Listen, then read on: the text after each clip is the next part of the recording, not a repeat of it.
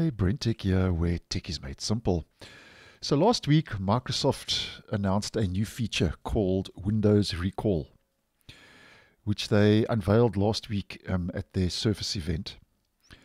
And as mentioned previously, um, the recall feature lets uh, you create a searchable history of your screen activity by taking periodic screenshots. So basically, it remembers everything you do on your PC.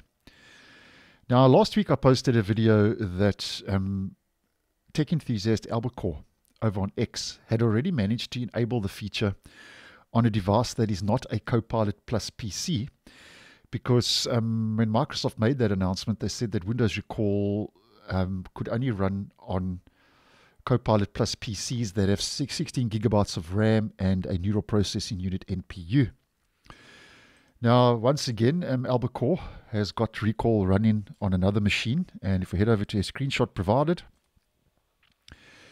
uh, Albacore has the feature running on a low powered PC with just a Snapdragon 7CX processor and 4 gigabytes of RAM.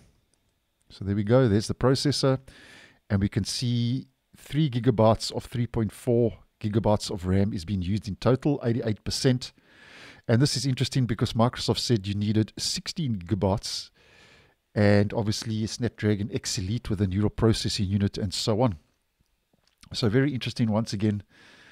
Uh, just like running Windows 11 on unsupported hardware, where Microsoft gave us the system requirements uh, for Windows 11 uh, back in 2021 when they rolled out the OS, it seems now that there's also going to be a bypass where you can run Windows Recall uh, the new AI feature that remembers everything on your computer on so called unsupported hardware.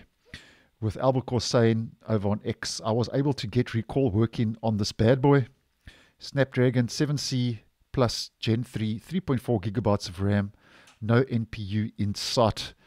Now, the only thing here regarding the NPU, it has been noted though that although it's not required, um, needed in this case, um, it is required for certain workloads, but for the core of recall, no NPU is not needed. So already there are workarounds on how to get the Windows recall, which takes snapshots, as mentioned, um, of your PC. So basically, it's, it's a souped up search feature on your PC.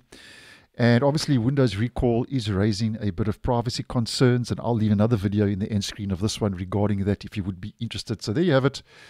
Uh, just like Windows 11 back in the day when Microsoft said you needed certain system requirements to be able to run it. Windows Recall now, um, already those system requirements have been bypassed, and that was only announced last week by Microsoft. So thanks for watching, and I'll see you in the next one.